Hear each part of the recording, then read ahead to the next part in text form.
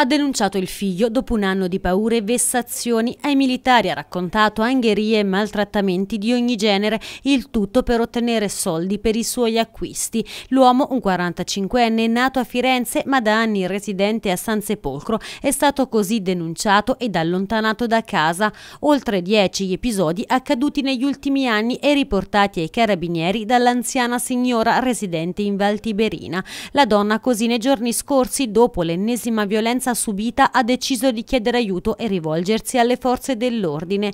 La relazione inviata alla Procura di Arezzo ha infatti riportato svariati episodi e questo ha convinto il giudice nel redigere l'ordinanza restrittiva. Adesso l'uomo è stato allontanato dall'abitazione su disposizione del GIP del Tribunale di Arezzo. Non si tratta però dell'unico episodio di violenza di genere che si è verificato in questo periodo nell'Aretino. Sempre negli ultimi giorni un'altra ordinanza di applicazione applicazione della misura cautelare dell'allontanamento dalla casa familiare sempre emessa dal GIP del Tribunale di Arezzo su richiesta della Procura, destinatario del provvedimento un altro 45enne per maltrattamenti in famiglia e lesioni personali aggravate contro la moglie. L'uomo infatti da tempo l'avrebbe minacciata, insultata, umiliata di fronte ai due figli, entrambi minori.